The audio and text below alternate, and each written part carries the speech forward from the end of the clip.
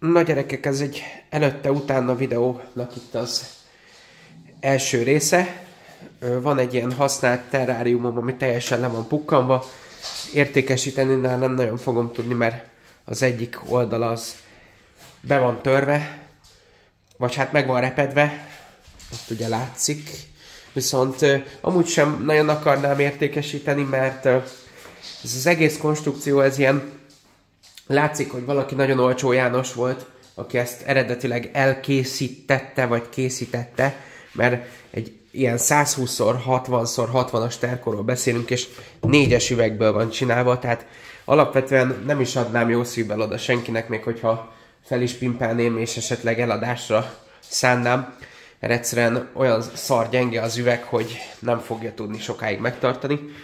Igazából az érdekesség az az, hogy mi lesz majd ebben a ö, kis terráriumban, mert azt el kell mondjam, hogy ez egy 120x60x60-as terkó, de ez egy nevelő terrárium, a jövőbeni lakója pedig itt van a zsákban. Stay tuned, és akkor meglátjátok, hogy mi ez és miről van szó. Na kérem szépen, kész lett a terrárium, fel lett pimpelve, szerintem így járt mindenki a legjobban, hogy ez egyelőre itt marad nálam ez a terkó, vagy hát véglegesen. Skeptikus vagyok, hogy itt fog-e maradni, mert igaz, hogy elég nagy a konyha, de uh, nem, nem, nem teljesen passzol bele a méret oda. Úgyhogy uh, nem biztos, hogy itt fog maradni, de nem is ez most a lényeg. Igazából uh, én játszanék egy olyat, hogy a holnapi napon fog kiderülni, hogy milyen állat kerül bele.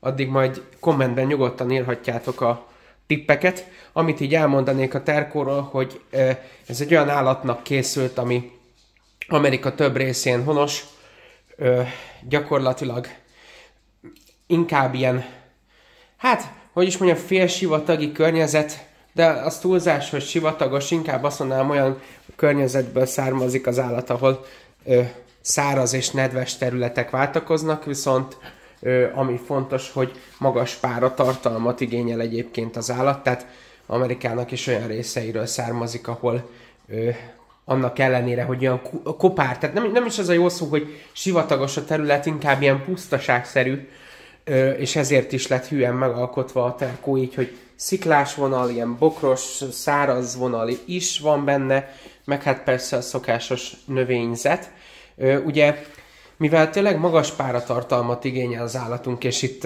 a Kárpát-medencében azért nem az a jellemző, hogy olyan magas lenne bármikor is a páratartalom, ezért nyilván a terráriumban mindent el kell követnünk, hogy ezt tudjuk reprodukálni, vagy hát ahogy tudjuk.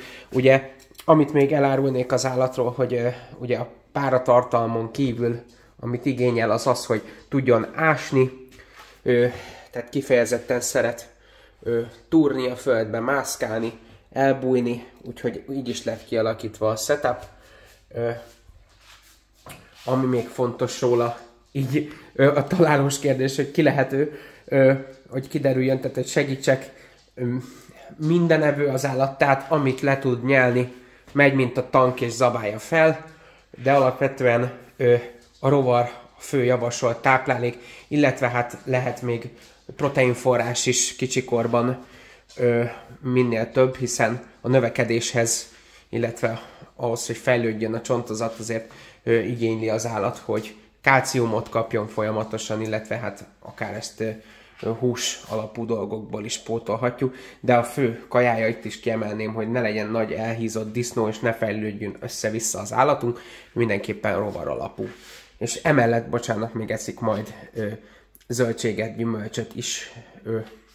Tehát egy egészen érdekes állatról beszélünk, és amit még kiemelnék, hogy ez a setup, ez a 120x60x60, ez a nevelő terkója.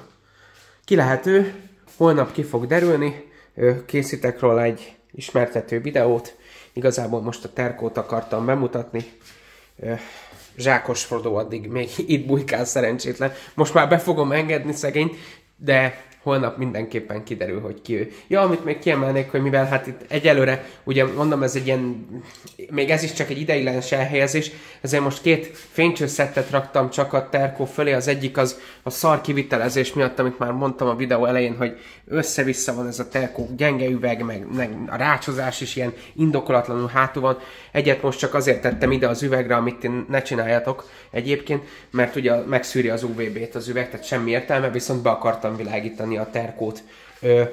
És a, a lényeg, hogy itt nem fölül lesz most a melegítés, mert én egyébként annak vagyok a hogy melegítő lámpázzuk az állatainkat, ö, hanem itt beépítettem, hátulról indul egy fut itt a terrárium alsó részén, kiemelve, hogy csak az egyik felén ö, fűtőkábel. És a fűtőkábellel fog majd tudni melegedni, vagy hát maga a terkó is ettől fog felmelegedni. Most, de ahogy mondtam, én a későbbiekben valószínűleg innen is elmozgatom a terkót, hogy lámpát is fölé tudjak tenni, mert jobban szeretem, lesz egy kis melegfénye is, meg az állatunk többször fog esetleg sütkérezni, előjönni. Úgyhogy igazából ennyi lett volna már ez a videó. Köszi szépen a figyelmet, várom akkor kommentben a tippeket, hogy ki lehet ez az állat, tehát még egyszer, mi amit tudunk róla. Amerikában honos több területen, ö, baromi nagyra nő, ezen kívül ugye minden nevő, mondhatni, hogy elég okos és barátságos egyébként, és mi az, ami még kifejezetten jellemző. Eléggé ilyen buldog fazonja van az állatnak. Ez már egy nagyobb segítség, és nem, nem szavanna varánusz. Ugye az vicces is lenne, mert az másik területről származik. Úgyhogy várom akkor a tippeket. Még egyszer köszi a figyelmet, sziasztok!